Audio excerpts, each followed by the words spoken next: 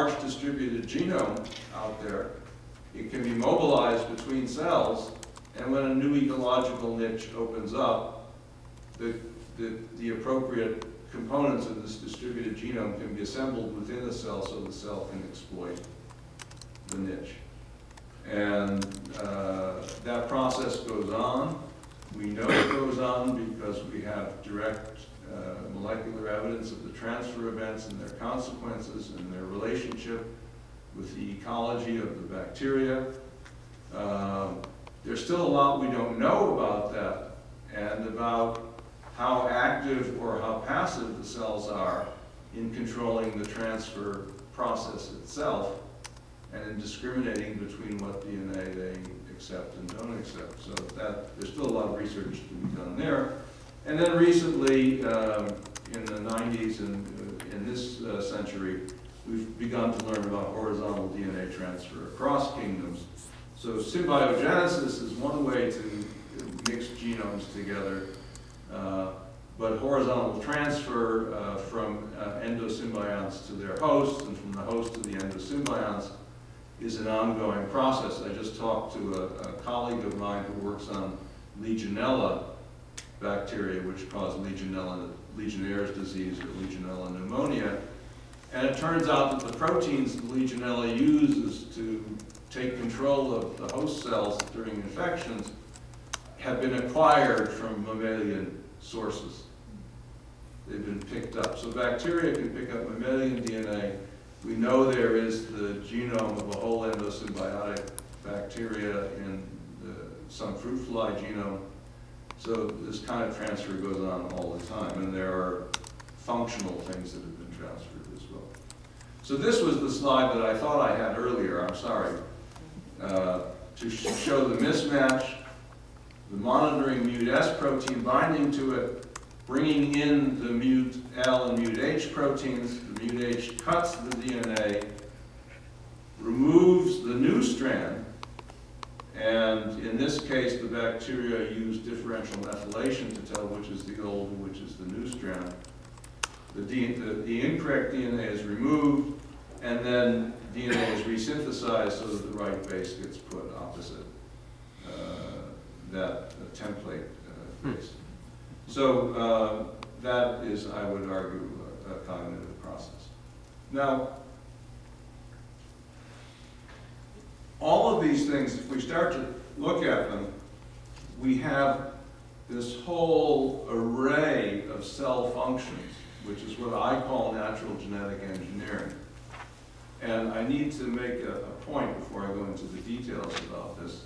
Uh, I called it natural genetic engineering because the DNA is being cut and spliced. And I said, well, that's like genetic engineering. And other people actually had used the term uh, before me.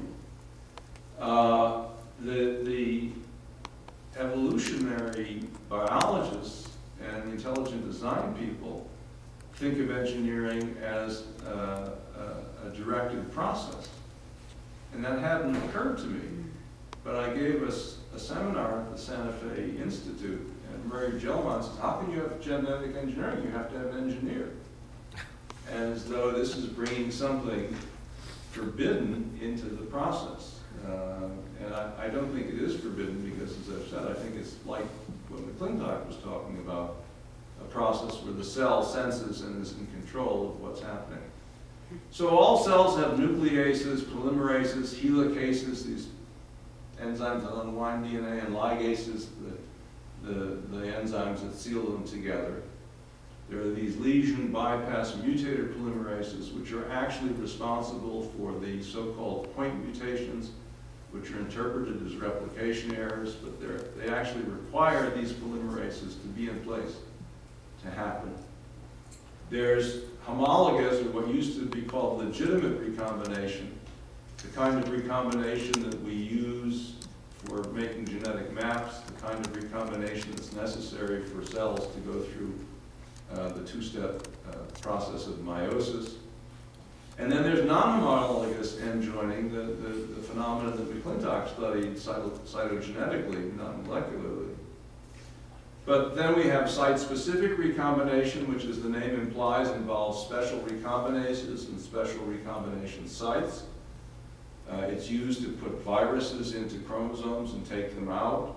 There are a structure called integrons, which are little platforms which have a site-specific recombinase to pick up cassettes for protein coding sequences, typically for antibiotic resistance or for other functions. There are superintegrons, which are long structures like this, found in the genomes of many bacteria encoding pathogenicity and adherence factors and other functions needed to work as a pathogen. And there are these fascinating things called shufflons, where the recombination takes place inside of the coding sequences, and they're used by the bacteria to modify the structure of the surface proteins so that they can avoid the immune system or interact with different cell types. There's a whole variety of mobile gen genetic elements, the things that McClintock studied. There are ones that work at the level of DNA, called DNA transposons. There are ones that are like retroviruses. Remember, HIV, when it infects, goes into a chromosome. It's reverse transcribed into DNA and inserted into the chromosome. And there are retrotransposons, things which can't make virus particles, but can move from place to place within the genome that have a similar structure. And uh, uh, those are uh, very frequent. And then there are other kinds of retrotransposons called non-LTR. They don't have this characteristic LTR structure on the ends that the retroviruses have. Uh, and they're very abundant in some organisms. They're our most abundant form of DNA in genomes, as we'll see in a second. And uh, of course, there, the, the, variety of mechanisms that are involved, even within the DNA transposons, is quite amazing. And what you should do is just realize that these are mobile cassettes which can be uh, clicked into the genome at different places and that we understand the molecular biology down to the, the, the, the phosphodiester bond level. And that these uh, elements have been used in evolution repeatedly. Uh, there was a paper published at the end of last year where the number of elements in the human genome that can be traced back to mobile elements is now over 280,000. Uh, if you compare the genetic differences between eutherian mammals and marsupials, over 20% of those are due to mobile elements which have then been modified and accepted or used for a new function. So these cassettes can move around the genome and when they do that, they carry lots of, of regulatory and, and control information with them. There are introns which can uh, reinsert back in the uh, uh, original site, both by, at the DNA level and some of them at the RNA level. They can reverse splice into the, R, to the DNA. There are these things called inteins, which are self-splicing protein segments, which in, when they're spliced out become a nuclease, which can cut the DNA so that the DNA that encodes can be inserted. There are these things called diversity-generating retroelements that were found in, in uh, bacteria uh, about five years ago. And then there are these things called CRISPRs in bacteria and piRNA loci in animals, which are systems for picking up fragments of invading DNA, incorporating it into the genome and using it to generate resistance to new infections by those agents. And here's a picture of, of a CRISPR.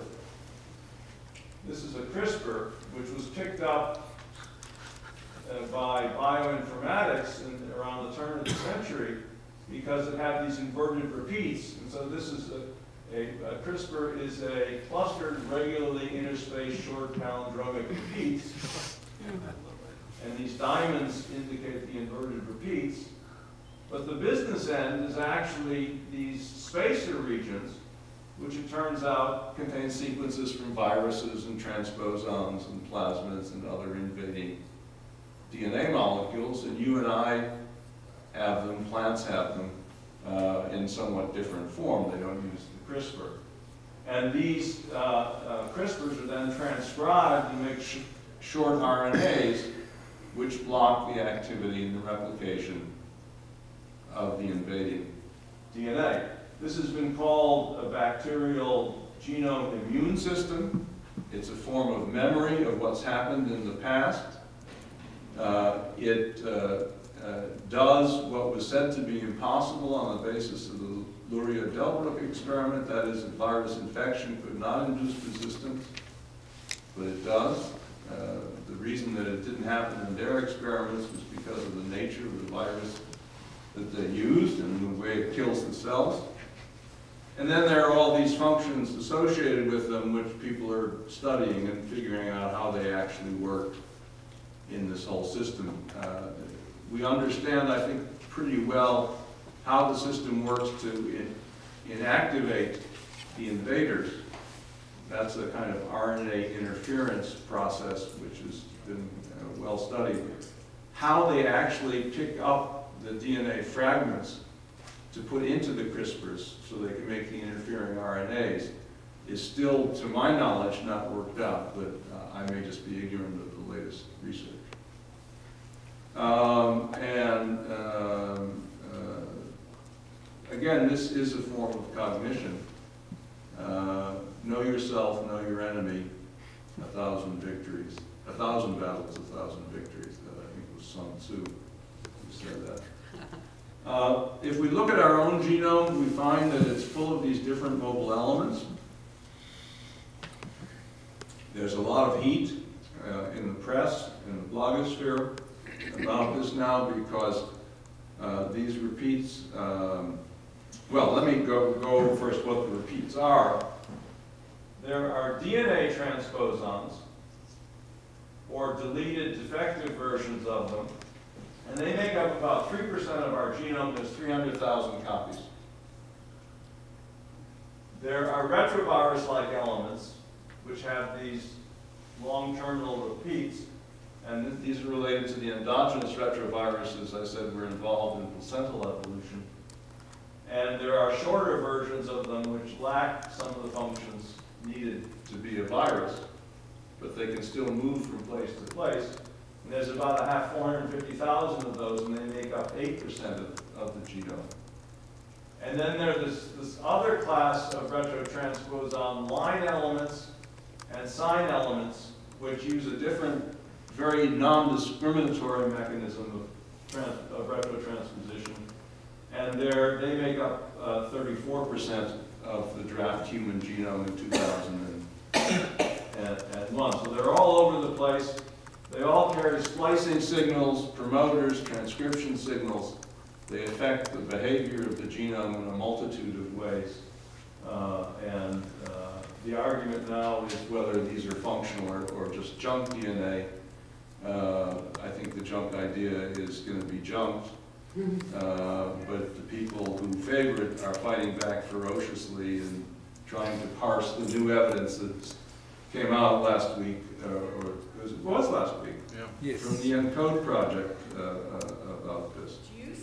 Uh, about how, how many of these uh, elements that bind transcription factors are involved in regulation, are involved in genetic disease, uh, and are transcribed into RNA. Uh, so now, let's go a little bit further uh, and come back to McClintock's idea about the response of the genome or the cell to challenge.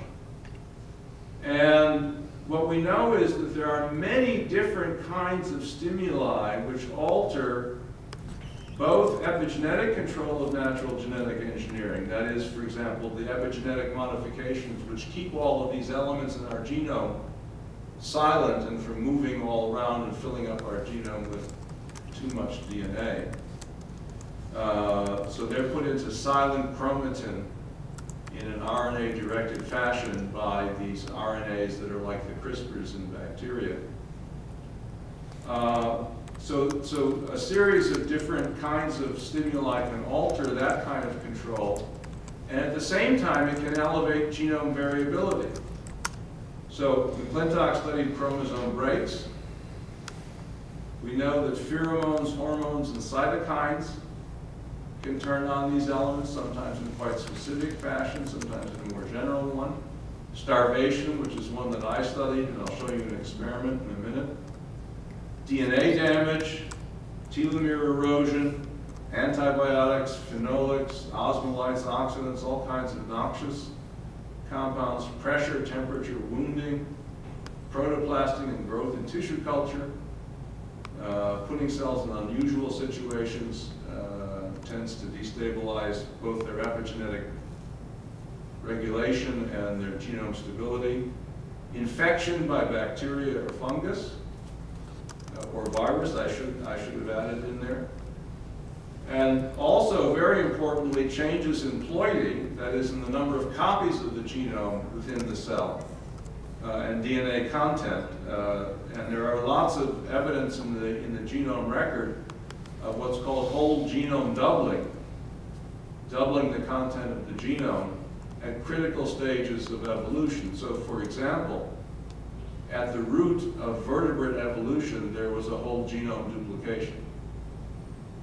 And that was followed by the separation of jawed vertebrates from jawless vertebrates, another whole genome duplication. So those were sudden events because the genome duplication events are single generation events, which are associated with major transitions in evolution. and finally, we know that hybridization, matings between un, unrelated uh, uh, individuals who do not normally mate with each other destabilize both the epigenetic control and uh, lead to genome instability. Also typically lead to genome doubling as well.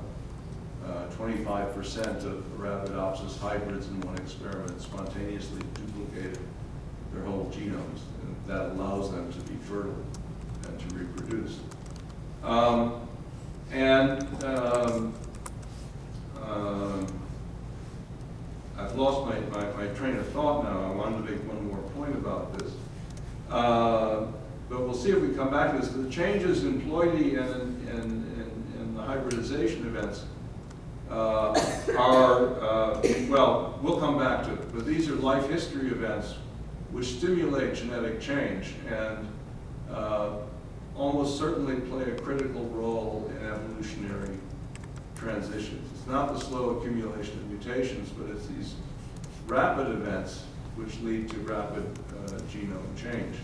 So the experiment that I did, I was studying a very complex DNA rearrangement which would fuse together two coding sequences which could not be expressed. Uh, and had a transposable element in between them. And this was a technique devised by my colleague Malcolm Casadaban to fuse any protein coding sequence to beta-galactosidase LAC-Z sequence so that you could use LAC-Z to study it in bacteria. And a, a, former postdoc of mine had used this technique and told me that it took a long time. You had to use thick plates because it took a long time to happen. And I said, that's really fascinating, you should study that. And after two years of telling him and not getting a response, I finally did it myself. And what happens is, when you plate out the bacteria initially, in the first four or five days, no colonies come up. Now, you can do reconstruction experiments to show if even at a very low level, there had been fusions in the population, they would have made a colony within two days. So the fusion never occurred during normal growth. However, after a certain period of time, which can differ from plate to plate, all of a sudden the plates develop zits and fill up with colonies, and they become saturated with two or three hundred colonies. That doesn't mean that that's the limit of how many fusions are formed because those colonies use up all the resources and prevent other colonies from growing. I calculated that at the minimum there is a hundred thousand fold increase in the frequency of these events. I mean, I couldn't calculate what it was actually because I couldn't measure the events under normal conditions. But this is starvation, aerobic starvation. Uh, uh, which uh, stimulates the, this particular coding sequence uh, fusion. And I think that's a pretty remarkable case. It certainly impressed the hell out of me, uh, and it's influenced my views uh, ever, ever since. Um, I, I added this slide, I didn't have it in originally, but I think I'm, uh, well, I'm getting, going a little long on my time, so let me speed up a little bit. I just wanted to point out to you that, that not only uh, are natural genetic engineering events triggered by life history experiences, but cells are capable of targeting natural genetic engineering within the genome. I got a whole bunch of examples listed here. I hope you'll just take my word for it that it can happen. The one I, I, I like to use as a, as a specific illustration is taken from the immune system, where you have DNA joining to, to make the variable region sequence, which is what contributes to the antibody, uh, part of the antibody that recognizes an antigen. And then you have the constant region, which is what determines how the antibody interacts with the rest of the body. So once the cell has selected and modified by localized mutagenesis the antigen binding specificity, it needs to change where they direct that antibody, where, where that antibody goes in the body. And that's done by making double strand breaks at these switch regions called S, downstream of the variable region exon and upstream of these other constant region exons. Now the interesting thing about how these switches occur is they occur when the S region is transcribed this S region is transcribed because the antibody is being produced. These S regions are transcribed because different signals from other cells in the immune system, what are called lymphokines, can activate transcription and tell the antibody producing cell which constant region exon to add on to the antibody. So cell to cell signaling can inform a cell of a specific targeting, a specific DNA rearrangement. And there's nothing mysterious about any of these targeting processes at the molecular level. They all involve fairly well understood or, or certainly plausible molecular mechanisms, but uh, that capability is there. And we really don't know how far that capability is used in, in evolution. So, um, uh, again, let me uh, go faster through this to say that there's lots of evidence for abrupt events of natural genetic engineering in evolution. Um, uh, uh, new, uh, well, uh, mobile elements, for example, are, are distributed around the genome and become functional elements and help establish networks in the genome, part of the genome being an organized system. There are horizontal transfers, whole genome duplications, and so forth. Uh, and uh, so let me tell you how I think cognition works in evolution and how ecological disruption, which might bring us back to the, the, the ecology and the, the, the larger picture, uh, can influence epigenetic regulation and natural genetic engineering uh, processes. If there are, if a, a major ecological disruption occurs, there will be changes in population structure. and in particular, populations will drop in size. There'll be changes in food sources, which may lead to starvation. Uh, there'll be various adaptive needs which go unmet. And in particular, organismal behavior and infectious agents will have to seek out new hosts and partners. So it, depleting the population means you're not going to find a normal mate. Oh, so you mate with somebody who looks similar. You have a hybridization event, and boom, you've set off a de genome destabilizing event and started the natural genetic uh, engineering process going. Now, Macroevolution uh, can be triggered by starvation, cell fusions, uh, interspecific hybridizations, symbiogeneses, episodes of horizontal transfer, genome re- rearrangements, and novel symbiotic uh, associations. And uh, these uh, events in the disrupted ecology uh, may produce some novelties. And uh, they will certainly establish new cell and genome system architectures on the analogy of a computer system architecture. And there will be complex novelties uh, arising from whole genome duplications where everything is duplicated so you can change things without losing the function. Uh, and you may get some pretty sophisticated or complex novelties out of that. Now, they may not work very well, but remember, we're in ecological crisis.